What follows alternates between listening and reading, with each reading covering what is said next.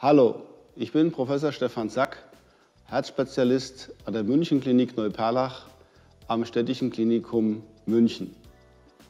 Meine Arbeitsschwerpunkte sind die Akutmedizin, also die Behandlung des akuten Herzinfarktes, der Lungenembolie, der Ortenerkrankung und von Patienten im kardiogenen Schock, die uns mit dem Rettungshubschrauber oder dem Notarzt gebracht werden.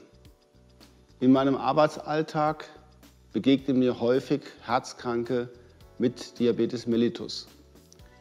Die Zuckerkrankheit ist ein wichtiger Risikofaktor für die Entwicklung einer koronaren Herzerkrankung. Der Diabetes mellitus betrifft aber auch andere Organe, vor allem die Augen, die Niere, aber auch die peripheren Gefäße, wie zum Beispiel die Halsgefäße und die Beingefäße. Der Diabetes mellitus fördert die Entstehung einer koronaren Herzerkrankung. Viele Diabetiker erleiden einen Herzinfarkt und 40 Prozent sterben daran. Beim Diabetes mellitus unterscheiden wir den Typ 1 und den Typ 2. Der Typ 1 Diabetes mellitus wird auch der juvenile Diabetes genannt, weil er vor allem junge Menschen und auch Kinder betrifft.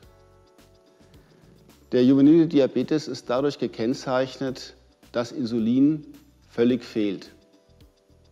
Die Bauchspeicheldrüse ist nicht in der Lage, Insulin zu produzieren. Insulin ist aber notwendig, um Blutzucker, die sogenannte Glucose, in die Zellen der Organe zu bekommen. Das heißt, das Insulin ist sozusagen der Gatekeeper für die Glucose. Nur dann sind die Organe in der Lage, ihre Arbeit auch zu leisten. Das bedeutet, dass der Typ 1 Diabetes insulinpflichtig ist und der Diabetiker von außen Insulin zuführen muss. Die Ursache beim Typ 2 Diabetiker ist ganz anders. Hier ist genügend Insulin vorhanden, aber das Insulin gelangt nicht in die Zellen, weil die Türen an den Zellen verschlossen sind.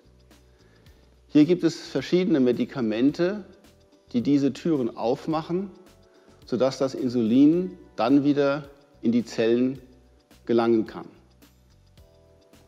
Beiden Erkrankungen, sowohl dem Typ 1 als auch dem Typ 2 Diabetes, ist gemein, dass die Blutglucose sich in den Gefäßen ablagert. Dadurch kommt es zur Entwicklung von Gefäßveränderungen, die wir Arteriosklerose nennen. Die Folgen sind Herzinfarkt, Verschlechterung des Sehens, weil die Augen belastet werden, Einschränkung der Nierenfunktion und auch andere Organsysteme können vom Diabetes mellitus betroffen werden. Deshalb ist es sehr wichtig, dass eine gute Blutzuckereinstellung vorgenommen wird und der Patient darüber hinaus auch an sportlichen Aktivitäten teilnimmt. Die Bewegung ist also ein wichtiges Element in der Therapie des Diabetes.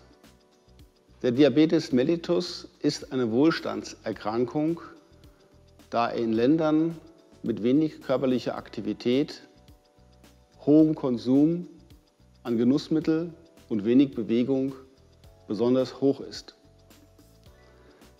Die Rate des Diabetes mellitus liegt in verschiedenen Ländern zwischen 2 und 12 Prozent.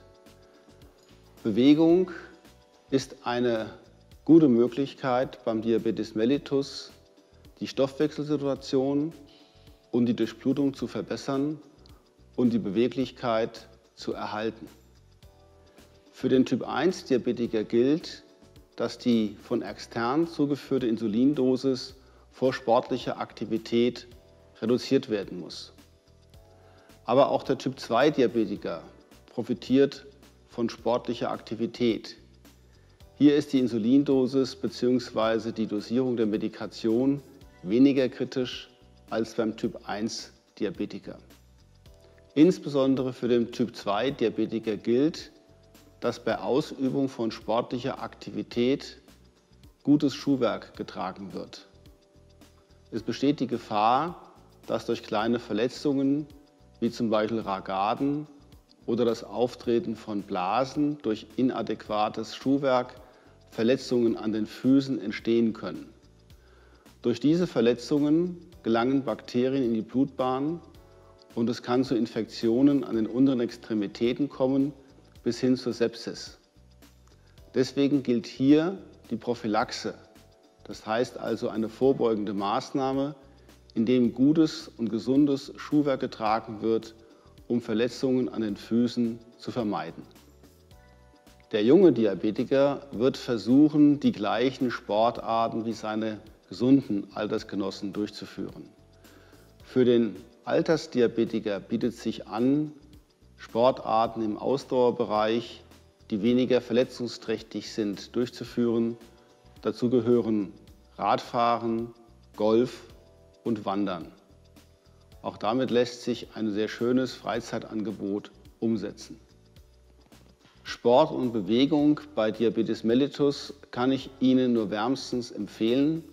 Wir zeigen Ihnen jetzt ein gutes Beispiel für ein moderates Muskeltraining und auch ein Expertentalk, in dem Sie mehr Informationen bekommen.